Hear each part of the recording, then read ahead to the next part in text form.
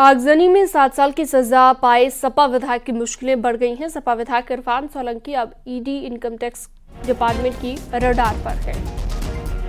ED Irfan के खिलाफ money laundering की जाँच भी कर रही है। सूत्रों के मुताबिक ईडी ने इरफान की 20 करोड़ की संपत्तियों को चिन्हित किया है। ईडी इरफान को रिमांड पर लेने की भी अब तैयारी कर रही है।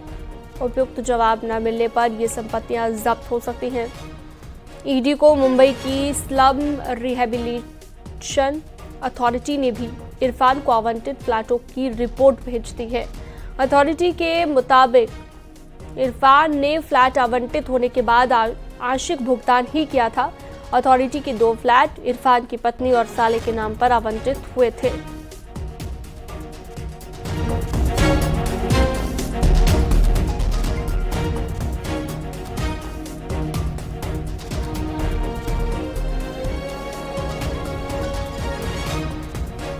तो एसपी विधायक इरफान सोलंकी की मुश्किलें बढ़ गई हैं।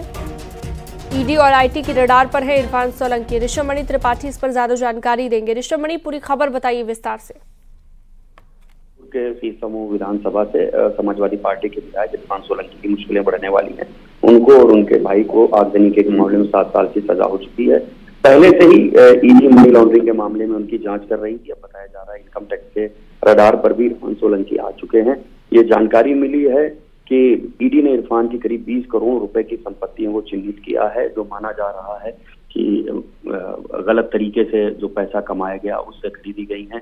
जल्द ही ईडी इरफान को रिमांड पर लेकर इन संपत्तियों के बाबत पूछताछ कर सकता है। अगर कोई जवाब नहीं मिलेगा इन संपत्तियों को जब्त करने की भी तैयारी ईडी कर रही है तो वहीं मुंबई की स्लम रिहेबिलिटेशन अथॉरिटी ने भी इरफान को दो फ्लैट आवंटित हुए थे जो उनकी पत्नी उस साले के नाम पे उसकी एक रिपोर्ट भेजी है, जिसमें उन्होंने आंशिक भुगतान किया जा रहा था। ये भी बताया जा रहा है, कुछ गलत जानकारी देकर इरफान ने ये दो फ्लैट आवंटित कराए थे तो इस पर भी कार्रवाई हो सकती है। वहीं इनकम टैक्स बीते एक दशक में इरफान ने जो संपत्तियाँ खरीदी हैं, उनका ब्यौरा जुटा लिया है, और ये माना जा रहा है, सूत्र बता रहे हैं कि इन संपत्तियों का मिलान उनके इनकम टैक्स के रिटर्न से नहीं हो पा रहा है। लिहाजा इनको इरफान की अघोषित कमाई से खरीदा हुआ माना जा रहा है। इनकम टैक्स इस बारे में भी कोई कार्रवाई कर सकता है, क्योंकि ये माना जा रहा है कि इरफान ने अपनी कमाई को छुपा कर इन संपत्तियों को अर्जित किया है। तो ये मान के चलिए, आने वाले कुछ दिन विधायक इरफान सोलंकी के लिए और भारी होने वाले हैं। ठीक है, बहुत शुक्रिया तमाम जानकारी के लिए आपका संकेत।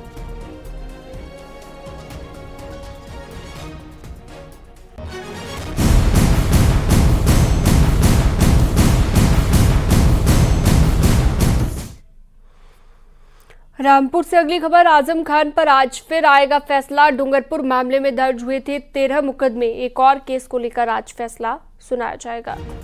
2016 में आज़म खान के इशारे पर घर में घुसकर मारपीट, तोड़फोड़ और धमकाने का आरोप है।